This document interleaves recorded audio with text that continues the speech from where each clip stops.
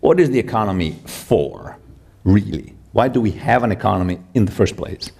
And, you know, if you look at um, the term economy, is the same root as ecology. Well, ecology and economy have the same root and comes from Greek oikos, which means the house, the household, and the family.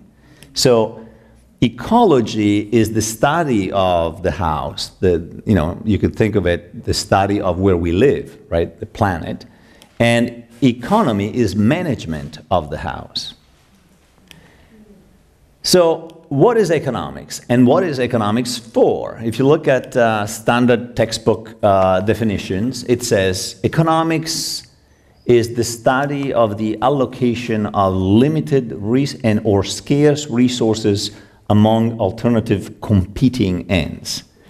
And even the language makes you a little bit uncomfortable. First because there is this frame of insufficiency and scarcity and that there needs to be a competition to get to the little thing we have right so even the definition of economy makes you already operate in a frame of mind that might not really be real and i have a plot in a community garden and when the tomatoes or the zucchinis come i tell you we're not talking about scarcity I mean, there are the birds that are feeding. I have too much on my own. I have to give it to the neighbors. Sometimes the neighbors, when they see me coming down with zucchinis, they're trying to avoid me or pretend they don't know me or you know put some disguise on so that they are not settled with additional zucchini. So in reality, if you look at nature, abundance is a better metaphor than scarcity.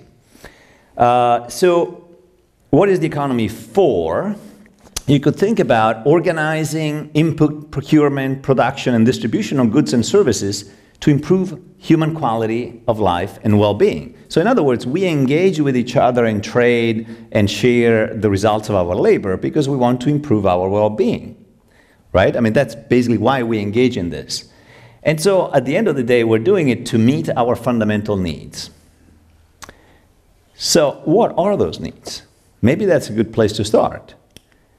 Well, we know we have physiological needs, right? We need clean air, clean water. I'm sure I'm a fan of clean air and clean water, and I bet you're too, right? Because we need that to survive. We need nourishing food and we need sleep. But then we also need safety, we need health, we need belonging, and then there are other things like meaningful participation and a sense of contribution to society, self-actualization and expression, and so on. These are considered